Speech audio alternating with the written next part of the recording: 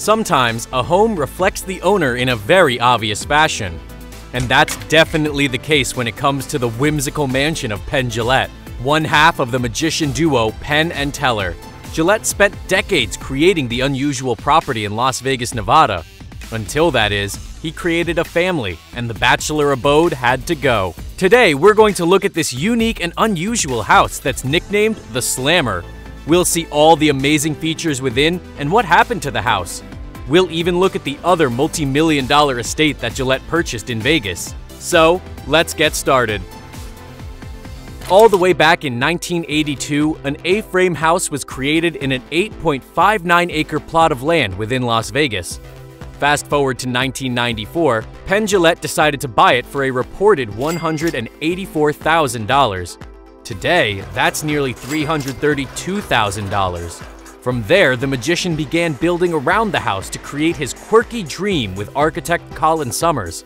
The inspiration started out as a prison, hence its name, the Slammer. The design grew more colorful as time went on, which is evident from the vibrant clock face on the side of the property that showcases its name.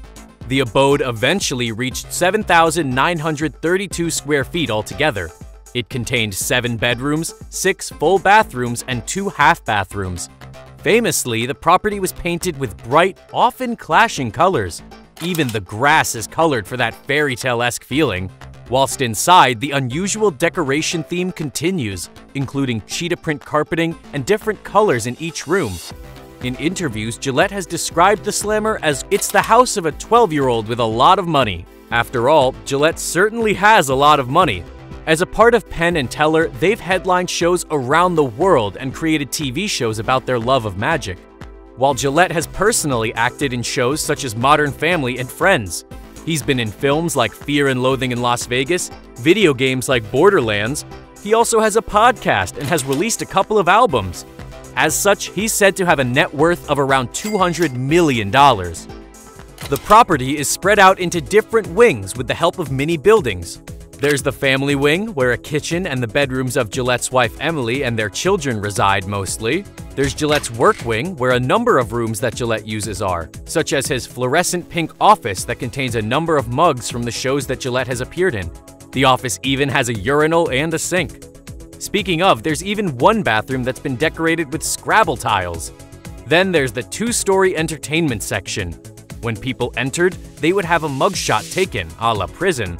There's even a police outline of Teller holding a knife on the floor within another kitchen. There's also a fire pole leading from the outdoor catwalk in the backyard.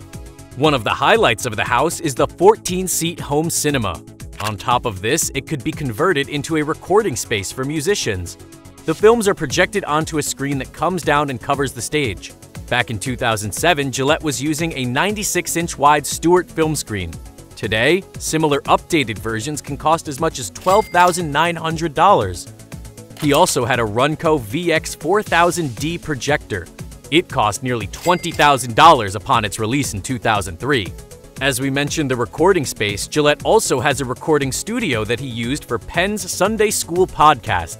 Typically, creating smaller recording studios cost a few hundred dollars to install, which is ideal for podcasts. If you lack the space, podcast studios can be rented for $10 an hour, but it can go as high as $300 for the fancier kind. Also on the grounds is an outside lap pool for the family to enjoy. According to experts, typical lap pools can cost between $40,000 to $65,000 to install. However, for those larger lap pools, it can reach up to $100,000. There's also a spa on site as well. Outside the entertainment wing sits a pond shaped like a goldfish snack cracker that's filled with a variety of fish. It also hosted 11 turtles. Depending on the age, species, and size, turtles can cost up to $2,000. As such, just the turtles could have cost Jillette $22,000. However, if he went with the rare Yunnan box turtle, he'd be looking at $200,000 each. After he created a family, Jillette attempted to turn the Slammer into a child-friendly abode, but it didn't work out as well as he hoped, especially as the mansion is pretty isolated from other amenities. So, the family decided to move on to pastures new. In 2013, the Slammer was listed for $2.1 million. After a month, it was taken off. During 2015, a crowdfunder began to purchase the slammer for the United Church of Bacon. At the time, developers were circling the desert estate. The United Church of Bacon wanted to turn the property into a community center for atheists and skeptics. They stated they needed $3 million to purchase and renovate the slammer. However, a minimum of $500,000 was required just to maintain the property. However, they only managed to raise $23,910 through their campaign page.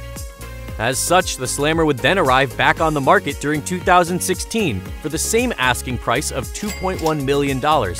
Soon, it was sold for $1.88 million to developer Larry Canarelli, the founder of American West Homes.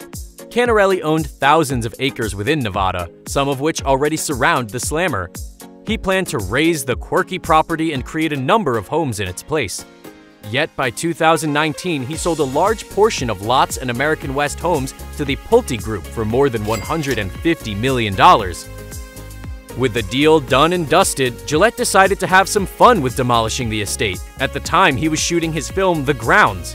One of the scenes involved a tank being driven through the property.